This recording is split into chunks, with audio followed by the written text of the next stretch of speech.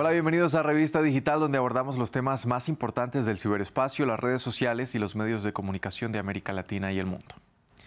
Muchas son las reacciones que ha surgido luego de que el gobernador de Florida, Ron DeSantis, escogiera Twitter para hacer el anuncio oficial de sus aspiraciones presidenciales.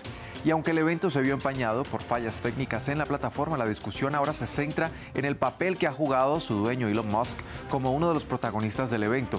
Bajo su dirección, ¿se convirtió Twitter en una plataforma de ultraderecha?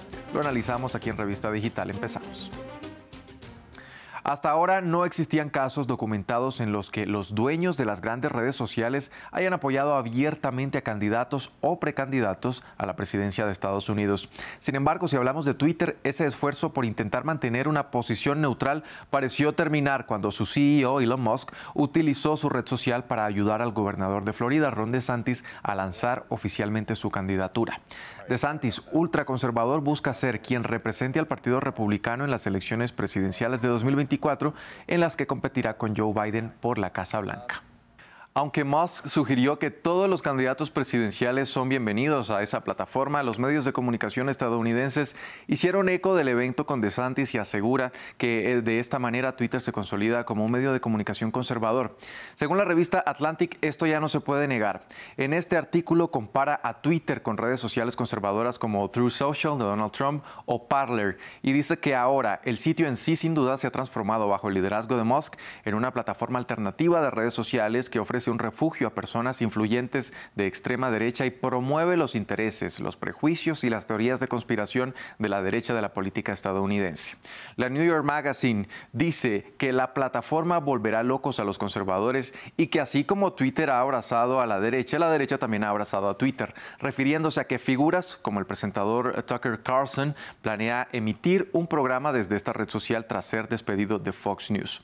De hecho, el portal Business Insider señala que Twitter Twitter empieza a parecerse mucho a Fox News, ya que desde que asumió el cargo Elon Musk ha dado la bienvenida a los favoritos de la cadena conservadora que habían estado prohibidos en la plataforma, como lo son Donald Trump y la representante a la Cámara Marjorie Taylor Greene. En France 24 consultamos a Robert Valencia, el es analista político, a quien le preguntamos si Twitter podría llegar a convertirse en un megáfono de la extrema derecha. Indudablemente le ofrece una plataforma al, movimiento o por lo menos al, Partido Republicano. No sabemos si hará o extenderá la misma invitación a, los demócratas. En este caso viene siendo Joe Biden eh, el quien es el favorito para hacerse a la candidatura eh, demócrata. Eh, pero sí, indudablemente existe ese riesgo y la desinformación, además que también se ha dicho que eh, Twitter eliminó ciertas eh, políticas, además que como ustedes ya saben, removió eh, el, digamos, esta verificación azul.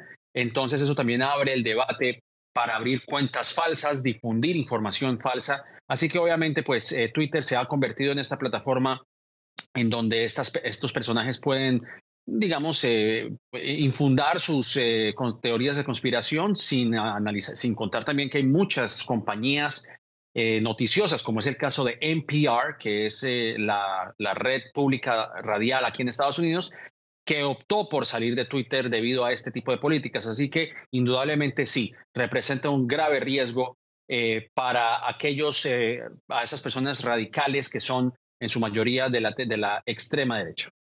Robert Valencia también nos habló del papel que deberá jugar Twitter de cara a las elecciones presidenciales, especialmente en los intentos por mitigar desinformación electoral, teorías de conspiración y contenido falso.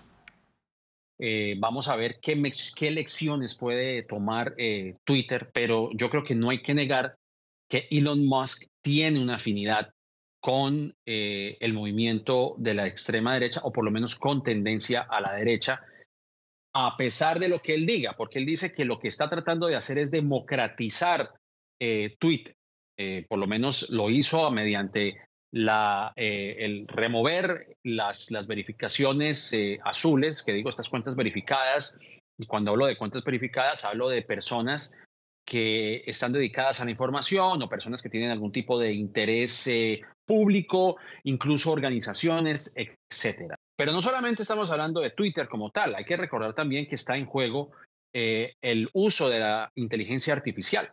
Y yo creo que eso también va a ser importante, no solamente aunado con el tema de Twitter. Y hago hincapié específicamente en lo que hizo, por ejemplo, el Comité Nacional Republicano, quien en respuesta a Joe Biden en su, en su video oficial de lanzamiento a la candidatura por la Casa Blanca, la respuesta que dio el Comité Nacional Republicano es un video utilizando imágenes de inteligencia artificial.